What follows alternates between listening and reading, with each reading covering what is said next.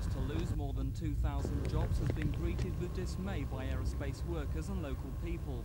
The plant, which makes air-launched missiles, has been a major local employer since the 1950s. For months there'd been speculation that jobs would go, but no one thought the announcement would be quite so drastic.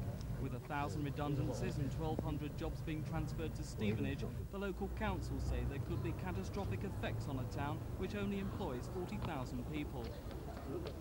Look at the very considerable ripple effect that this will have in so many different ways in terms of um, services that service British Aerospace themselves, retail facilities in the area who depend upon British Aerospace employees, leisure facilities in the area. But the local Chamber of Commerce don't envisage any major problems. They say unemployment is just 3%.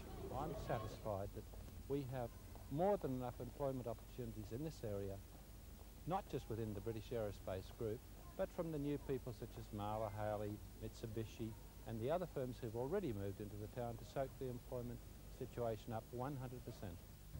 Unions inside the plant say they'll do all they can to fight the plan. And today comes as another blow, another sad blow, but it's in a chain of events. And I think that it's about time we started to say this is enough.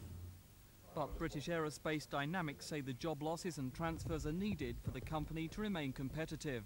We have a requirement to make much better utilisation of the resources that we've got. We've got a lot of duplication of resources that uh, come from the sort of previous structure of the business itself. Uh, and by rationalising those resources, uh, we will create much better operating economies. And those economies will make us more competitive in the marketplace and ultimately bring more business into our company.